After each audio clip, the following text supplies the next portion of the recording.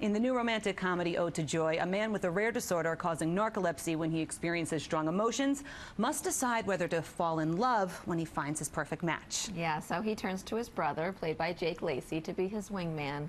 And things get kind of complicated. To say the least. Take a look. We uh, actually ended up hitting it off. Yeah? Yeah, she's a big laugher. I don't think I'm that funny, but Come on, you're funny. I like your De Niro. yeah. Yeah. Oh, here we go. Here we go. Cape Fear. Do a line. I made him an offer he couldn't refuse. That's Brando. Well, it's eventually him, right? Him before, yeah, I guess. Kind of. Yeah. Do like uh, Goodfellas. Look who's talking to. Jesus Christ. No, I know that one's not right. Were you talking to me? That's honestly awful. And Jake joins us live. Welcome back. Good to see you. Yeah, same, same. yeah, thank So, you. um, the impersonations. A for effort. thank you very much. Thank Are you? uh, Do you consider yourself an impressionist? Not after this. Not after seeing. I didn't know that's what it looked like. It felt real. It felt Yeah. good. Did you improvise that scene? Uh, we played around for a little bit Yeah. out That's there, awesome. and uh, they were kind enough to be like, "Yeah, you can do your thing as long as it like works out," you know. Um, yeah, yeah. I think we went back on that one a couple times. They were like, "Let's do this and say that, Yeah. and we'll try this," and um, yeah. It was fun. I mean, anytime you could say, Are you talking to me? Yeah. You Fun to like ruin in a iconic movie- things for people. you know, like- you think so?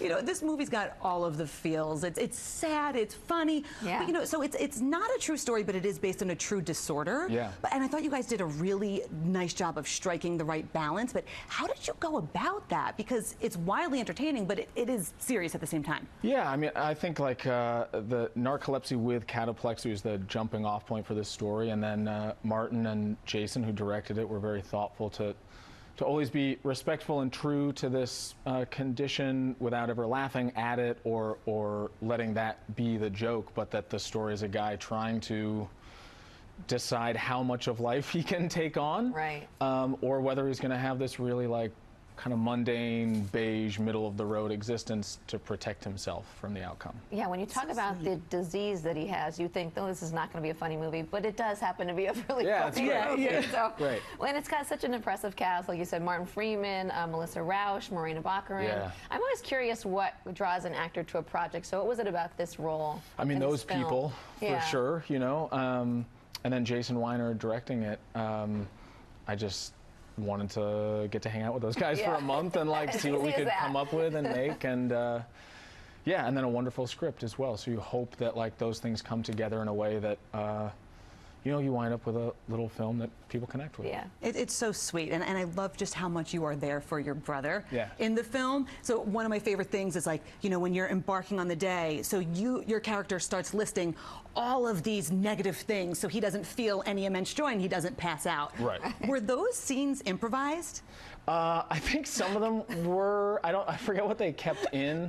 I think also at one point they were like, "It's getting a little dark, Jake. Like maybe we just kind of like Yeah. lighten it up a little bit. Like I don't know that we need to go that dark to keep him on the beam." Has me thinking about everything that makes me sad now, but like in a Um, funny way, you know? Yeah, yeah. To try to keep yourself safe, I guess. Yes. Um, I guess it. You know, it's like a little bit of a parallel in our, at least in my life, without living with this condition, to be like, am I going to continually take like this safe road to keep myself protected from consequence? Yeah. Or am I going to like put myself out there and be You take the vulnerable and kind of like see where the chips fall? You know? Well, I, you know, I love that you took this chance with um, the TV reboot of High Fidelity. Oh, yeah. I'm very Yeah, excited yeah. about that. It's a, a movie that I used to. I loved that movie. It was So from. I don't even remember what year that was made, but it was with book John was in the late Cusack. 80s, yeah, and then the, the movie was in the 90s, yeah. Yeah, so this is kind of set, told from the female perspective. You're playing opposite Zoe Kravitz. Yeah. What else can you tell me about it? Uh, I think it's really true to the vibe and the feel, the look of, of both the book and then the film. And um, I'm just immensely proud of it. I can't wait for it to come out. It'll be like in February, I think. Um, do a Valentine's Day drop. Got to come back. Uh, yeah, yeah, oh, Yeah, yeah, I'll be here. for. Yeah, for sure. All yeah, right. I'm thrilled. Okay, good. It's gonna be great. Well, you can catch Jake and Ode to Joy when it hits theaters, digital and on demand tomorrow. Thanks for stopping by. Thank you very much for having me. much.